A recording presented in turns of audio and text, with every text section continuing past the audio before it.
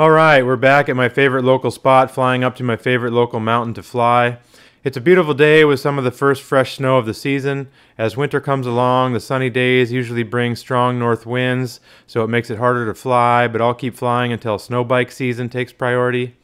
I got a transmitter mitten to help keep my hands warm, so I do hope to fly throughout winter, but it all depends on whether I'm out riding if the conditions are good. I've got a new Skydio 2 Plus for follow filming my snow biking this year, so I'm especially excited for that. And ultimately, as I produce higher and higher quality action videos, I will be including higher and higher faithful content to match.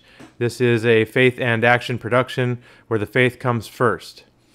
Our lives are often so blessed with such extravagant hobbies and pastimes like FPV quad flying or snow biking, but the problem is that if you don't know God and follow Him with a whole heart, being obedient to His Word, the Holy Bible, then it's all just an idol before Him and it only adds to your judgment on Judgment Day. There are Ten Commandments that cover the big sins, and then there are many other commandments that instruct us on other sins. Jehovah's Torah is his instructions for life and how he has decreed that human beings should live. When those instructions are rebelled against, it brings judgment, and judgment brings punishment. It's the law of having a righteous God whose very nature is diametrically opposed to sin. It is explained in the scriptures as the difference between being clean or unclean.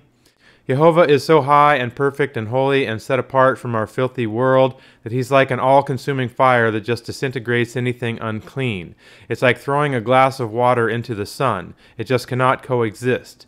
That is why we are called to repent of our sins and follow Yeshua, the Messiah, in doing what's right so that we can be saved from not only the consequences of our sins, but of a mindset and lifestyle that incorporates sin in our lives as we live now. So by all means, repent and be saved from a lost and dying world, for the kingdom of heaven is at hand.